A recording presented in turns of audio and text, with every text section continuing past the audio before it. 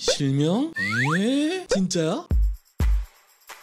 아름이 여러분 미용시술 측면차 아름쌤입니다. 구글에서 미간 보톡스를 검색하면 자동 완성으로 실명이라는 단어가 뜨네요. 미간 보톡스 실명이라는 단어가 자동 완성으로 떴다는 거는 여러분들이 검색을 많이 했다는 건데 검색을 막상 해보면 별로 나오는 게 없어서 오늘 설명을 해보려고 합니다. 자 결론부터 말씀드리면 미간 보톡스는 무죄예요. 괜찮아요. 자 미간 주변에 시술을 하고 실명할 수 있는 시술들은 덩어리진 것들입니다. 필러나 지방이식 등이 가능한 거죠. 그래서 요즘엔 미간의 내천자 주름에 지방이나 필러를 넣으려는 병원들이 별로 없는 것 같습니다. 자 미간의 내천자 주름을 제가 한번 그려볼게요. 자, 이렇게 찡그리니 보니까 주름이 이렇게 이렇게 이렇게 이렇게 생겨버렸네요. 자 그 다음 슬라이드는 까만색으로 표시된 이 부분이 실명과 관계가 있는 혈관들이에요. 이 부분이죠. 자 실명 사고가 나려면 이 혈관을 직접 뚫어서 필러가 주입이 돼서 좀 많은 양을 주입을 해야 이렇게 안구 뒤로 돌아가서 시신경을 막을 수 있다고 합니다. 근데 이제 아까 보시면 알겠지만은 이 주름이 혈관이 진행하는 진행 방향이랑 비슷하죠. 그러니까 미간 주름 필러나 지방 이식을 하다가 이 혈관들을 만날 확률이 조금이라도 높은 거죠. 이 혈관을 만나서 뚫어서 또 이 강한 압력으로 지방이나 필러를 많이 주입을 해야 실명이 되기는 합니다. 이게 사실은 여러 가지의 그런 일들이 겹쳐져야지 생기는 일이라서 쉽지 않은 일이지만 실제로 케이스들이 있었고 또 이 결과가 정말 너무 너무 너무나 큰 일이잖아요. 그러니까 이 자리는 웬만하면 덩어리진 것을 주입하지 않는 게 좋겠습니다. 그래서 이제는 미간 주름이 있는 자리에 웬만하면 필러나 지방을 시술하지 않는 병원들이 많다고 생각을 하고 있어요. 저는 저도 거의 안 하고요. 혹시나 정말 하시더라도 정말 조금만 정말 적은 압력으로 살짝만 하는 게 좋지 않을까 합니다. 자 사실 이미 미간 주름이 확 진하게 가버렸다면 필러나 지방을 넣는 시술이 도움이 되긴 하지만 이제는 거의 하지 않으므로 정말 더 중요한 것은 예방이 돼버렸습니다. 네, 좋은 소식이 있는데요. 이 주름은 예방이 가능해요. 확실한 예방이 가능합니다. 미간 보톡스로요. 또 미간 보톡스는 이마나 눈가 주름 보톡스에 비해서 어색할 확률이 훨씬 더 적습니다. 그리고 이마나 눈가의 주름을 만드는 근육은 나름대로의 긍정적 역할을 얼굴에서 하고 있거든요. 자 이마 근육은 눈꺼풀만으로 눈이 시원하게 떠지지 않을 때 눈꺼풀을 도와서 눈을 시원하게 이제 뜨게도 해주고요. 자 눈가의 근육은 웃을 때 더 활짝 웃게 만들어줍니다. 근데 미간을 찌푸리 부리는 이 미간 근육은 음...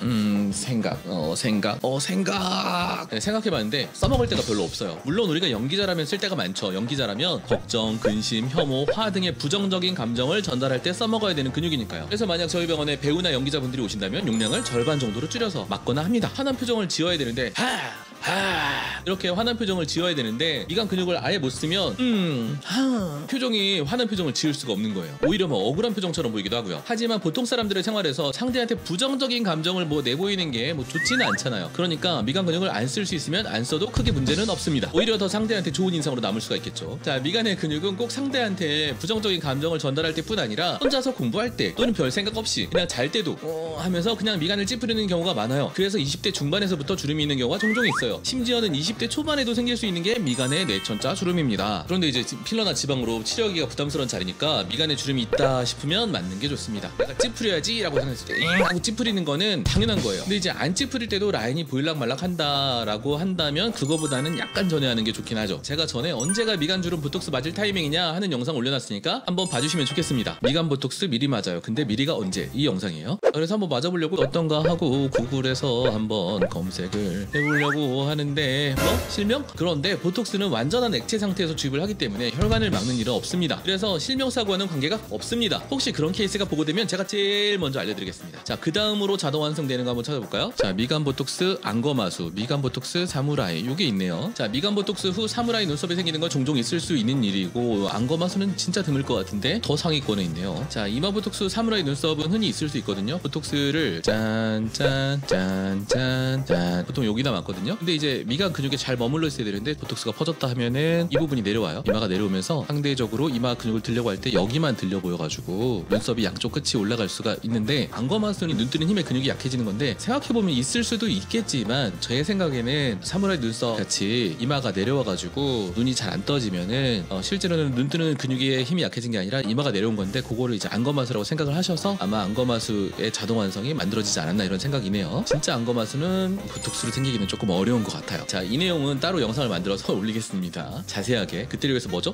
좋아요 구독. 자 오늘 영상은 여기까지입니다. 카카오톡 오픈 채팅방에서 아름닥터 검색해주시면 제가 만든 채팅방이 나옵니다. 의학적인 궁금증이 있으면 저한테 문의 주시면 제가 답변을 해드리겠습니다. 아름닥터 인스타그램도 놀러와 주시고요. 일상 채널인 아름닥터의 5분 근황에도 가끔 영상 올리고 있습니다. 아로미님들 들어가세요